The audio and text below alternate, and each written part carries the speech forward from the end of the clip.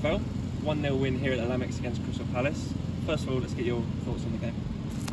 Um, I think that uh, we showed some really good signs today. It was all about improving, about game time, about players getting through the game, like we've always said. But what we've got to see is improvement every game.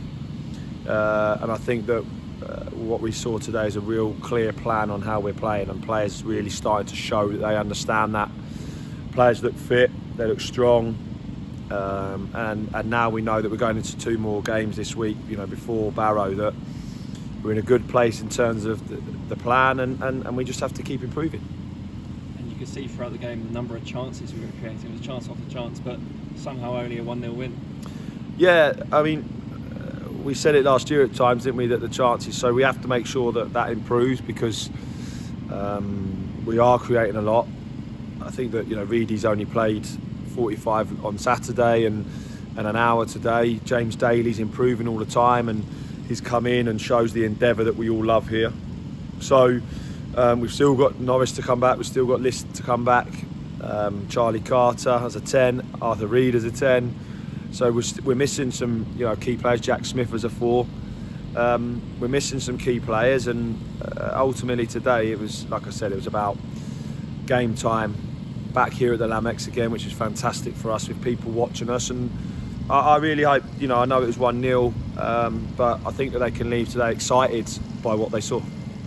And obviously, after the early sending off for Palace, it kind of changed the aspect of the game where they were sitting a bit deeper. We, went, we had more of the ball, we just trying to find a way through the defence. Yeah, it was a shame because it was probably our best move of the whole match, to be honest. It was fantastic movement, fantastic take from Reedy through one on one, and then you know the, the, he gets brought down. I think you know we tried to keep 11 on the pitch because it, it, we want it to work. We want it as a work practice, but uh, the referee's got a job to do. So unfortunately, it did spoil it slightly, but. Uh, it's going to happen in the season. You're going to play against 10. You're going to you've got to try and break them down, and you know we still had enough chances to win by a lot more than what we did. But really pleasing because the players are really taken on board what we're saying and, and, and, and, and improving every game, which is all we can ask of them. And we saw 21 different serious players today, um, but they all fit the system well and they all seem to be listening to your instructions. Yeah, we had a few obviously uh, trialists in because uh, you know we are looking for a, a couple of players in key positions. I think that it's been a shame because obviously we, we, we haven't been able to bring up the youth team players as much as we wanted to because of the COVID situation that we've had, it which is tough because we'd like them to get involved as well in these games so that they can understand what we're trying to do.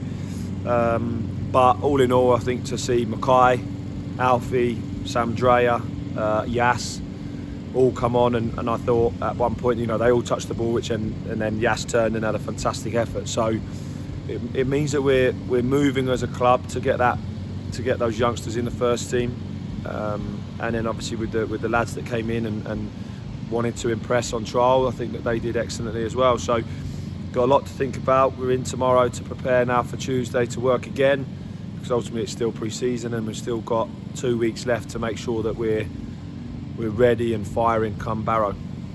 And just finally, what was it like walking out of the tunnel, turn around to see all those smiling faces at you?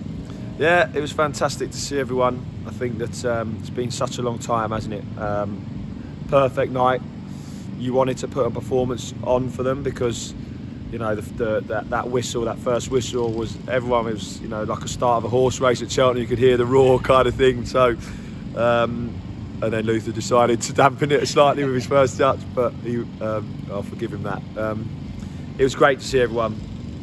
We're really excited by the group we've put together, the the distance they've come over the last few weeks in terms of understanding what we want, understanding what the club's about, um, and I think we've got a really fantastic group of people. Um, and I hope that this year the the fans can come back after a really tough year and really enjoy what we're doing here because you know we really believe in this group and believe that we're on to hopefully something really special. Cheers, Russ. Thank you.